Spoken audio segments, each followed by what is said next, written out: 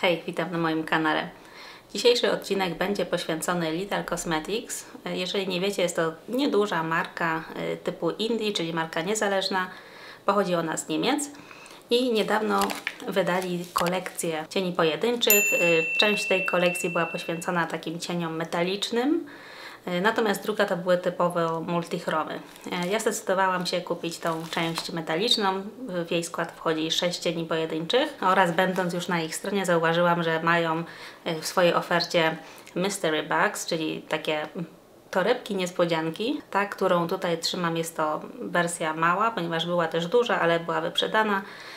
Ja w każdym razie kupiłam małą mystery bag i ona w tej chwili jest przeceniona o 50%, kosztuje około 17 euro. Wrzucę Wam tutaj może dokładną cenę, żeby nie mylić nikogo. Natomiast mają się tutaj znajdować cztery pełnowartościowe, pełnowymiarowe produkty, także zobaczymy co tutaj jest. Jeszcze nie patrzyłam. Oraz pokażę Wam tą mm, serię cieni metalicznych, nowych z oferty Lital. Przesłoczuję je wszystkie, a następnie wybiorę jeden, dwa, nie wiem, zobaczymy i zrobię też taki mały tutorial na oczach, bo specjalnie nie malowałam dzisiaj oczu właśnie, żeby spróbować tych cieni. Także jeżeli jest to tematyka, która Was interesuje, to zapraszam serdecznie do oglądania. Jeżeli nie mieliście jeszcze styczności z marką Little Cosmetics, to już mogę powiedzieć, że jest to bardzo fajna marka indie. Jest europejska, więc y, dla Was żyjących w Europie jest oczywiście dużo łatwiej dostępna niż dla mnie. Aczkolwiek nie narzekam. Wysyłają bezpośrednio z Niemiec bez żadnych problemów. Plus jest też taka amerykańska strona, która mm, posiada ich produkty, także nie mam problemu z dostępnością. Ale wiem też, że Douglas w Polsce mm, ma niektóre ich produkty. Ja będąc ostatnio w Polsce kupiłam dwie y, paletki właśnie od Little Cosmetics w Douglasie Polska, także dostępność na pewno jest całkiem niezła. Marka specjalizuje się tak naprawdę w cieniach pojedynczych, ale oferuje też y, złożenie własnej palety. Na ich stronie jest taka bardzo fajna zakładka, na której możecie sobie y, wybrać paletę, jej rozmiar, następnie dobrać wszystkie cienie, które mają w swojej ofercie i stworzyć w ten sposób swoją własną paletkę. Oprócz tego mają też y, palety w swojej ofercie, które oni tworzą, komponują. Natomiast z tego, co się orientuję, wszystkie są magnetyczne. Mm, Nie jestem tak na 100% pewna, ale na 98%. I ta nowa kolekcja składała się tak naprawdę z dwóch części. Pierwsza część to właśnie była kolekcja Pure Metals i jak sama nazwa wskazuje, dotyczyła kolorów takich typowo metalicznych, e, stopów metali, generalnie bardzo błyszczących kolorów. Ich słocze były nieziemskie na Instagramie, także ja liczę na to samo i mam bardzo wysokie teraz y, wymagania. Druga kolekcja była kolekcją multichromów. Również wyglądały obłędnie, natomiast póki co jestem usatysfakcjonowana, jeżeli chodzi o moją kolekcję multichromów i nie potrzebuję ich więcej. A takie cienie metaliczne zawsze się przydadzą, zawsze do nawet zwykłego dzienniaczka e, lubię wrzucić jakieś e, fajne złoto, jakieś fajne srebro. E, Tutaj tych wersji kolorystycznych jest kilka, także będzie różnorodność. I zaczniemy może od razu od tej kolekcji. Będę tutaj losowo wybierać cienie, może najpierw ten. Tak w ogóle przychodzą do nas w takim fajnym kartoniku opisanym z każdej strony. Są to cienie wegańskie, mają 24 miesiące przydatności, także całkiem dużo. I pierwszy kolor, jaki złapałam, to jest Palladium. Muszę przyznać, że w samej wyprasce naprawdę ładnie się błyszczy. Zobaczymy, jak to będzie wyglądać na palcu. Wow, dużo pigmentu i rzeczywiście błysk powinien być całkiem niezły. Naprawdę, słuchajcie, bardzo masełkowe cienie. Yy, Błysk myślę, że już widzicie, że jest dosyć intensywny, taki właśnie jak lubię. I ja pamiętam cienie Lital jako bardziej suche. Jestem miło zaskoczona, że są bardziej mokre. Natomiast nie są takie mokre typu Udens Eye czy te kremowe cienie Nataszy. Takie coś fajnego pomiędzy. Także to był cień Palladium. Bardzo dobry start. Następny cień nazywa się Alloy. To jest już bardziej taki nudziakowy kolor, który ma w sobie co prawda srebrne drobinki. No już widzę, że tego będę bardzo lubić. Na palcu wygląda tak. To są zdecydowanie cienie trafiające w mój gust. Zobaczcie na ten błysk. Przepiękny. I to rzeczywiście jest kolor, który spokojnie można dodać do makijażu dziennego, troszeczkę go podrasować, ale dalej trzymacie w tej kolorystyce Nude Rose. Bardzo ładny kolor. Powinnam była w ogóle wyjąć sobie jakąś pustą paletę, ale no nie pomyślałam. Następny kolor jest bardziej zielony, taki zielono-złoty. Kolor nazywa się Pyrite, czy po polsku powiedzielibyśmy po prostu Piryt. I to jest, to jest chyba jakiś minerał z grupy mm, żelaza, tak? Siarczek żelaza? Czy nadsiarczek żelaza? Nie pamiętam teraz. Yy, ale rzeczywiście widać tą taką zielonkawość w nim. I na palcu wygląda tak. Wszystkie mają bardzo mocną bazę. Nie są to absolutnie cienie transparentne. Czy na transparentnej bazie powinnam raczej powiedzieć. Tak wygląda swatch. Również przepiękny błysk. Bardzo podobnie się błyszczą. Można powiedzieć, że różni ich tak naprawdę ta baza kolorystyczna. Następnie mamy kolorek o nazwie Bismuth. Bismuth to jest chyba metal taki różowo-niebieski, czy niebiesko-srebrny z różowymi drobinkami. I ten jest już troszeczkę mniej zbity. E, lekko mi się rozpada, kiedy próbuję nabrać go na palec. Oj, bardzo taki mięciutki jest. Może nawet trochę za miękki. Widać nawet tutaj na ręku, że ta tekstura jest nieco inna. Mm, I to jest, to jest tak naprawdę holo.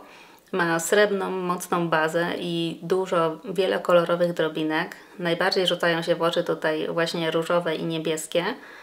Ale no tak z bliska widzę holo. Ale czad. Następny kolor to Cobaltite. To po polsku szczerze mówiąc nie jestem pewna jak się nazywa. Kobaltyn? Jest coś takiego? Jeżeli znacie się na minerałach i metalach, to dajcie mi znać, czy coś takiego istnieje. Mm, tutaj w każdym razie mamy coś różowego. Jest już z powrotem ta sama tekstura jak przy pierwszych trzech cieniach, czyli tylko leciutko mokra y, i nie nie rozpadająca się pod palcem. Ulala. No to jest piękny błysk. Błysk można powiedzieć w stylu Barbie. Także bardzo teraz na czasie. I ostatni kolor to Mercury i to jest już taki bardzo ładny, zgaszony fiolecik. Zobaczymy jak on będzie wyglądał po zesłoczowaniu. Tak, to jest właśnie taki srebrno-fioletowy, liliowy w zasadzie kolor. Bardzo ładny. I znowu w tej samej teksturze, formule jak poprzednie cienie, czyli tylko ten jeden o nazwie Bismuth jest inny, jeżeli chodzi o mm, formułę, teksturę, o to jak czuć go pod palcem. E, wszystkie inne są według mnie takie w punkt. Trochę mokre, ale nie do końca. E, wydaje mi się, że pięknie będą wyglądały. Ja ze względu na to, co mam teraz na sobie, będę chciała użyć tego koloru Alloy na całej powiece. No i pewnie wewnątrz e, kącika też damy coś innego. Zobaczę jeszcze co. I myślę, że zaczynam. Nie będę już tego przedłużać. I maty dzisiaj od razu, słuchajcie, pominę. Jadę od razu z tym błyskiem. Zobaczymy jak to wygląda solo na powiece. I może na tą jedną nałożę na sucho pędzelkiem, na drugą spróbuję już palcem, żeby zobaczyć, czy jest jakaś różnica. One mogą się sypać, bo są troszkę kruche, jednak nie są tak bardzo mokre, żeby przylegać od razu do powieki. Ale błysk widać od razu. To może być cień, po który będę naprawdę często sięgać, jeżeli chodzi o taki cień typowo dzienny, czy taki typu one and done. No normalnie miałabym tutaj mat w zewnętrznej części, ale że robię dzisiaj bez matów, to wyciągnę trochę ten błysk nawet. Troszeczkę osypu oczywiście jest, ciężko, żeby nie było przy takich skrzących e, cieniach, natomiast wydaje mi się, że błysk usprawiedliwia ten, e, ten mały osyp, także tak to wygląda przy nałożeniu e, pędzelkiem, a teraz nałożę po prostu palcem na to drugie oko i zobaczymy, czy coś, czy coś się zmieni.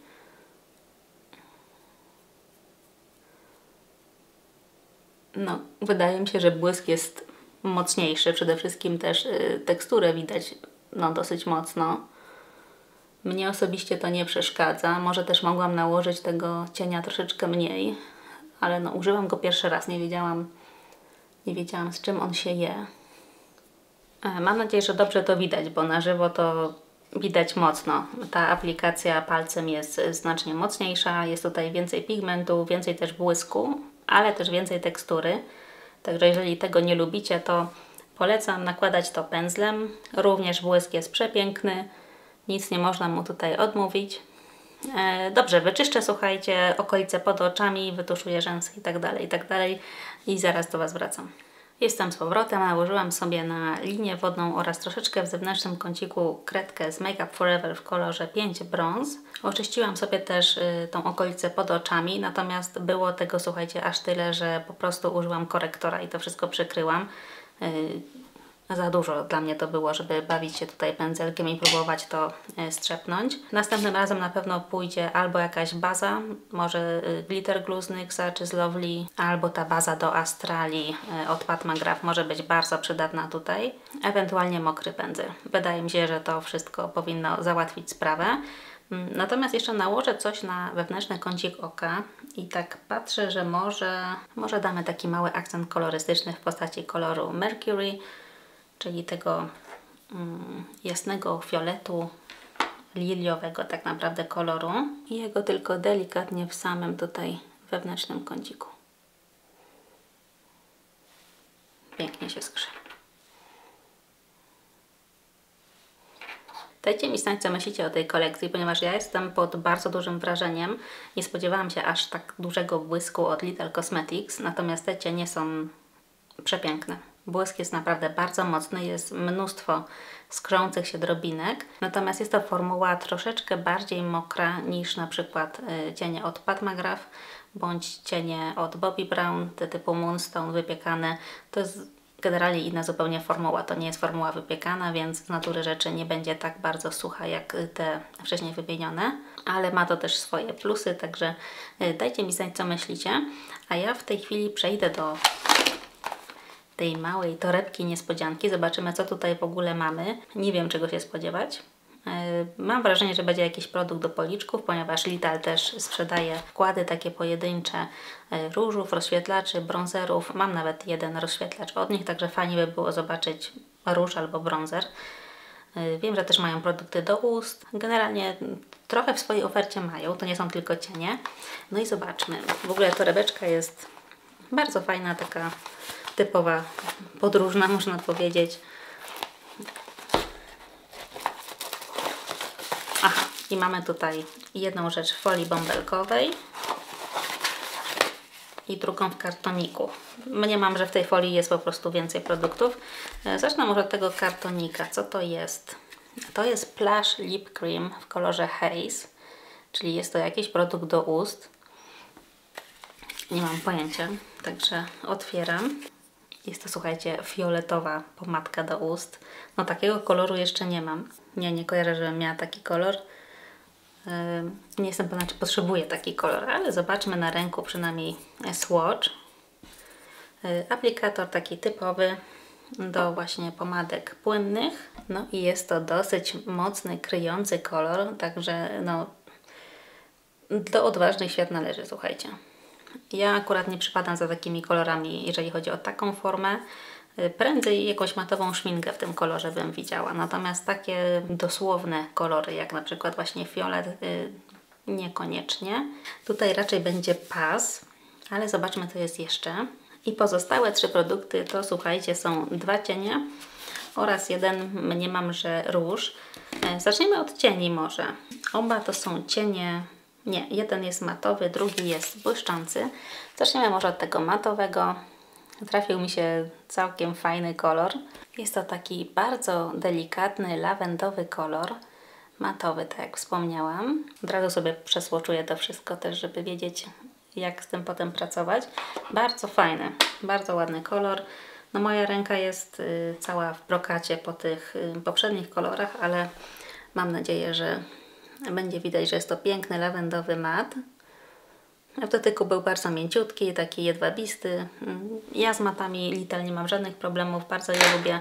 Także tutaj też nie spodziewam się żadnych problemów. I drugi kolor to jest chyba taki kolor satynowy. Chyba tak. I nazywa się on Inhabit. I wygląda mi on na taką cytrynkę albo limonkę, bo troszeczkę zielonego też tutaj widzę. Ale to może być kwestia światła. Nie, to jest cytrynka. Typowa pastelowa cytrynka. Na palcu wygląda tak. No ona już taka ładniusia nie jest jak ten mat. Y, troszeczkę się kruszy. Y, przypomina mi troszeczkę limoncello od Nataszy Danony, ale tam formuła bardziej mi się podobała, szczerze mówiąc. Mm, ale zobaczcie w ogóle jak te kolory razem ładnie wyglądają. To mógłby być fajny makijaż. I ostatni produkt jest już dużo większy, także domyślam się, że jest to róż. Y, Jest tylko napisane face powder, także wiemy przynajmniej, że jest to do twarzy. I trafił mi się kolor dosyć odważny, ale to fajnie, nie mam takiego koloru. Kolor nazywa się Calix przez Y i jest to taka ceglana pomarańcz, e, troszeczkę z terakotą. Wygląda dosyć intensywnie, szczerze mówiąc. Ciekawa jestem, jak będzie na słoczu. No cała jestem w brokacie. I tak wygląda słocz na palcu. No jest intensywny. Jest intensywny, bardzo chętnie go spróbuję na policzkach, ale może nie dzisiaj, bo już coś na sobie mam. Ale na pewno w najbliższych dniach sprawdzę, czy ten kolor w ogóle nada się dla mnie do użycia na twarzy. Jeżeli nie, to będę miała po prostu bardzo duży pomarańczowy cień. Ale również formuła wydaje się bardzo miła, bardzo mięciutka w dotyku, jedwabista. Myślę, że spokojnie, spokojnie coś nią tutaj zdziałam. Można tutaj, widzę, rozblendować ten pomarańcz i ten kolor już nie jest taki straszny. Także wydaje mi się, że generalnie ta mała Mystery Bag jest całkiem fajna, zwłaszcza teraz, kiedy jest na nią promocja minus 50. Yy, Niekoniecznie możecie trafić na to samo co ja. Wydaje mi się, że typ produktu będzie ten sam, ale kolor yy, pewnie się różni. Ja jedynie nie jestem zadowolona z tego produktu do ust, ponieważ jest to kolor, którego na pewno nie będę używać, mimo że jestem dosyć odważna, jeżeli chodzi o usta, to no takich kolorów po prostu nie lubię. Mam kilka takich bardziej właśnie odważnych, halloweenowych pomadek też tego typu, e, takich w płynie i wydaje mi się, że użyłam ich właśnie tylko raz na Halloween w zeszłym roku.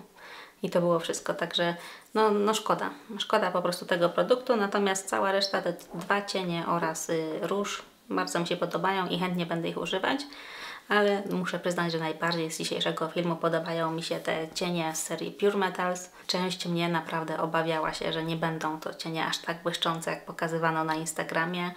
Yy, te cienie, które miałam do tej pory od Little były bardzo w porządku, były bardzo dobrej jakości, ale no, takiego błysku tam nie było. Także nie wiem, czy to jest zupełnie nowa formuła, chyba tak. Ale jeżeli tak, to mam nadzieję, że będą to kontynuować, bo wyszło im świetnie. Dajcie mi znać, jaki kolor Wam się najbardziej podobał i czy w ogóle znacie Little Cosmetics, czy lubicie tą markę. Jako, że jest europejska, to mam nadzieję, że więcej z Was ją kojarzy i lubi. A na dzisiaj to wszystko. Dzięki wielkie za uwagę i do zobaczenia w następnym odcinku. Pa, pa!